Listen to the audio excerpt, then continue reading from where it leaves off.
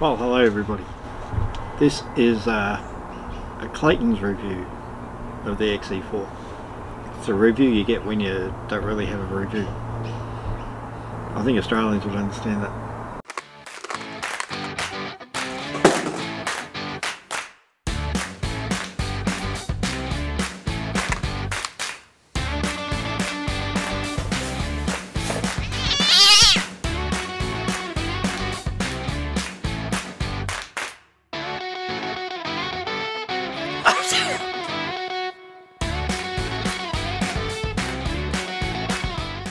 Well, g'day everybody.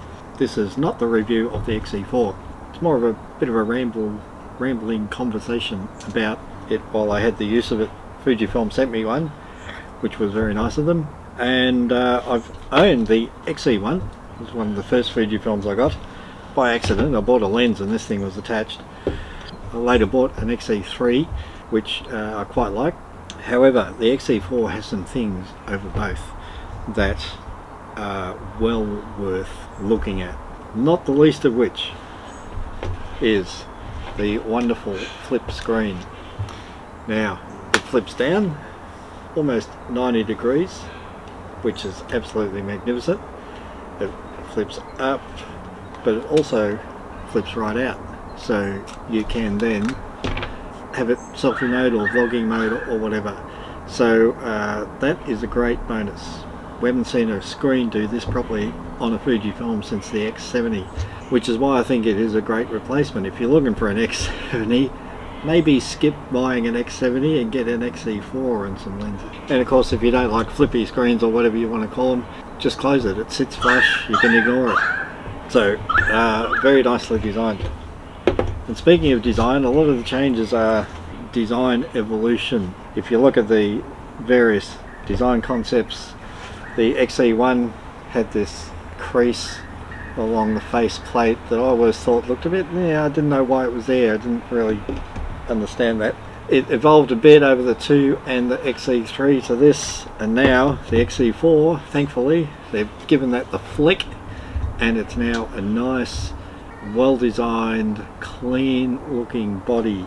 Another design element about this too is these sort of chamfered edges on the XE4. This is an old design thing, early Fujica film cameras. So Fujifilm have done this before and now they're harking back to those design elements. You can also see it in others. This is the, the Canon P rangefinder. It does the same thing. Luckily they haven't gone the old uh, Leica route of totally rounded body corners. I think that would have been just a bit too much but they have taken their past design elements and put it into this body and it looks very very nice. They've improved the top I think compared to the XE3. Uh, I like this design much better. But apart from the looks, what about the actual functionality of the camera? Now most reviewers bring up as a con there's less function buttons and dials on this thing.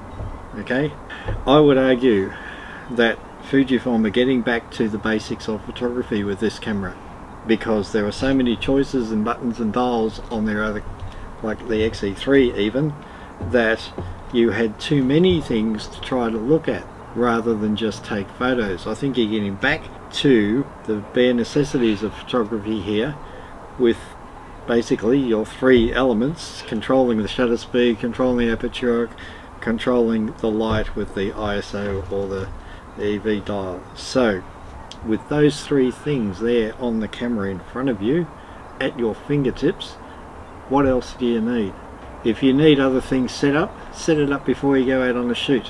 When you're out there on a shoot you don't want to be worrying about those essential items and then all these other things that these dials can do uh, and sometimes do accidentally because there's too many dials and buttons on the camera. Let's get back to taking photos. I think this is a much better photographer's camera than the earlier versions. And of course they haven't completely nobbled this thing.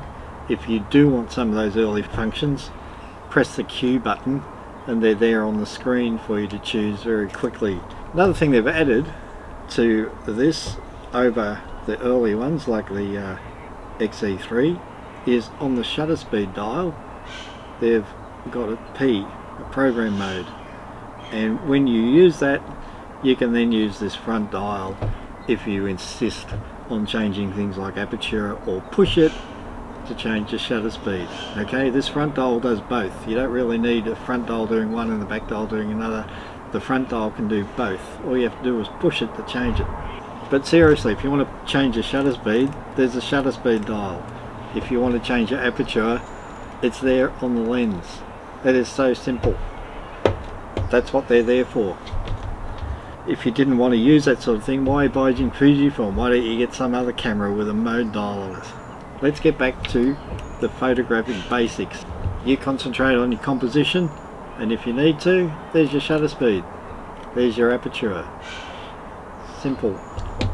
And let's keep it simple and make decent photos instead of worrying about extra buttons and dials and functions on your camera. I recently picked up this Canon P rangefinder and uh, it's all mechanical no electronics in or anything. No function buttons dials and rubbish. You've got a shutter speed dial. You've got your aperture on the lens. You're controlling your light with those simple things. And this camera will take lovely photos. You don't need all that extra stuff. I like this because it doesn't have buttons and dials everywhere my fingers go. It just has the things I need to take a decent photo to control the light this is I think a better photographer's camera than the earlier version, the XE3, with more buttons and dials. So would I recommend it? Well, hell yeah.